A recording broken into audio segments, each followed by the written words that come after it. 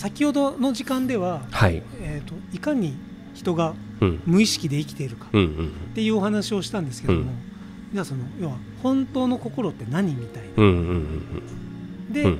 えー、とそれは意識しましょうなんていう動画を先ほど上げたんですけども、うん。じゃあ意識うん。心を意識するうん。やり方というんですかね。うん観察しうん手放すことを学ぶっていう項目うん。がこちらこのエニアグラム実践編はい。を元に今はい。先ほどの時間からやってるんですけど、ここに観察し手放すことを学ぶっていうのがあるんですね。うん。で、まあ意識はい。しましょう。うん。で私が先ほど 意識ってこれですねって言った時に違うって言われたんですけどうん。本に否定されたんですけどうん。この内なる旅に出かける時うん。にうん習得しなければならないうん。最も重要なスキルがあるんだと。うん。それは私たちを陥れているうん。性格の習慣とメカニズムをうん。観察し手放すことうんですと、うん。この観察し手放すこと。うん。この原則は一見シンプルに見えるがうん。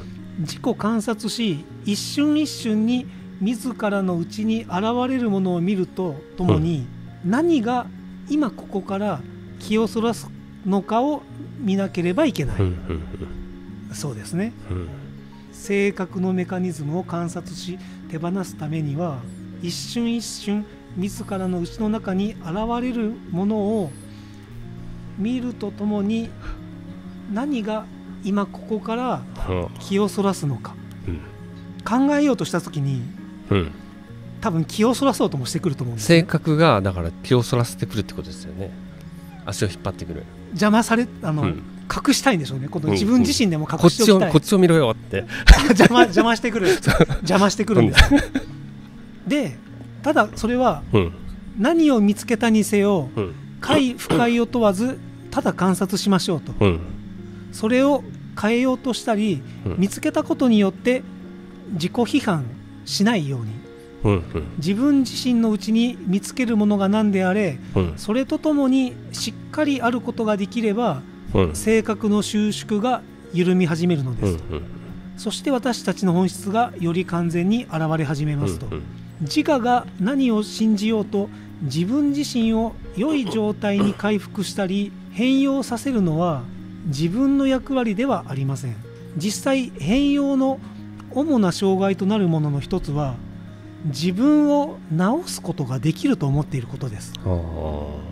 無論こうした考えはうんいくつかの興味深い問いを投げかけます。うん私たちの中にある何かを治す必要があると思っているのでしょうと。うんうんうんあもう泣きそう。直さなくていいんだねって今ちょっと思い始めている、そして私たちのどの部分が別の部分を直す権限があると主張しているのでしょうとどの部分が裁判官陪審員うん。被告なのでしょうか？うん。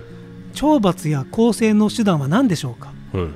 それはどの部分がどの部分に対して用いるのでしょうかと。私たちは幼い時からより良くなければいけない。もっと頑張らなければいけない。うん自分自身について別の部分から同意を得ていない部分をうん。否定ししなければいけないと信じ込まされています。うん何かの方法で自分が変わりさえすればうん。いかにもっと成功し人に好好ましく思われうん。安心していいられるかうん。あるいはスピリチュアルになるかを私たちの文化や教育自体がうん。絶えず私たちに想起させます。うん。特に明治時代の教育によってうん。工場で働ける人間になるようにはい。もっと頑張れうん。もっとやれ働く者を食うべからず。食うべからず。政府にうん。疑問を持つな。うんうん。上に疑問を持つなって言われてうん。で上をう敬えってうん。儒教が教えうん。神はいるとうん。言いうん。働きなさいと言いうん。日曜だけ休んでいいよなんて言われてうんありがとうございますって頭を下げて土日に休む。うん。この辺ですね。うん。つまり私たちは頭で受け取った何らかの公式に従ってうん。あるがままの自分とは違う必要があることを学んだのですと。うん。ただあるがままの自分を見つけ受け入れる必要があるという考え方は、うん。えー私たちが教わったことのほとんど全てに反します。うん。なんか その通りだと。うん。はい。FK さん人のことはよくわかるのに自分のことはいまいちわからない。うん。多分目をそらしてるんですよね。で 人のことはそうやって言えるんですよね。人のことは言える。うん。はい。あそう。目をそらすから見えなくなる。あ自分からね。そうそうそうそう。自分のことは見えなくなる。性格が足を引っ張ってくるんですよ。見ようとすると自分の中を見ようとするとそう。ですよね。当然ながら自分自身を傷つけること、うん。まあ、薬物アルコール、うん。まあ、人間悪い人との人間関係もそうだようん。とをしているならそうした行動をやめてやめて初めて意味ある変容のワークをすることができるよと、うんまあ、けれけれども通常私たちが変わることができるのは、うんえー自分自身に対して 長々とお説教をしたりうん罰を下すことによるのではありませんと。うん何が自分自身を傷つけるよう駆り立てているのかをうん見ることができるように、うんえー静かで中心の定まった気づきを育てることによってなのですと。うん自分の悪い習慣とそれを取り除きたいと思っている部分うんの両方に気づきを向けるとき全く新しい何かが浮上します。うん。要は自分自身の悪い習慣とうん。僕は多分それを取り除きたいと思ってる部分に気づいた時にうんうんうん。これだって言ったんですよ。うんうん。うんっていう両方に気づいた時に、うん。新しい何かが浮上しますと。うんだからこれだじゃなくてその先があるってことですよね。あ。まずそこに気づいて、はい、うん、で多分最初はだからずっと不信感があったのかもしれない。不信感というかまだなんかししっくりきてないっていう。ああなるほど、うん。そこが僕の浅はかな部分。うん。出た瞬間にあこれって掴む癖がある、うんうん。でここで言っているのは自分と向き合った時にうん。悪いことに気づいた、うんうん。あこれですね。うん。これが悪いんですねっうん。て罰しようとしている自分。これ直さなくてはいけない直さなくてはいけない。うん。ていう権限は誰が持ってるの、うんうんっていうことに気づけ。っていう話が書いてあるのかなと。で私たちが自分の性とともにありうん。この瞬間に心を開くことを学ぶにつれ、うん。えー奇跡が起こり始めますと。うん。最も素晴らしい奇跡の一つは長年悩みの種になっていた習慣をすぐにでもやめることができるということです、うん私たちが今ここの瞬間にしっかりとある時古い習慣が消え失せ私たちはもはや同じではなくなると。うん気づきの行為を通じて最も古く古い傷を癒すことは私たちにとって皆確かな奇跡です。うん。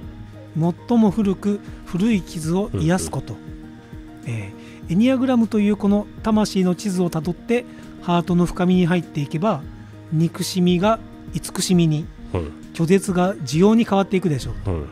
いつも覚えていてください。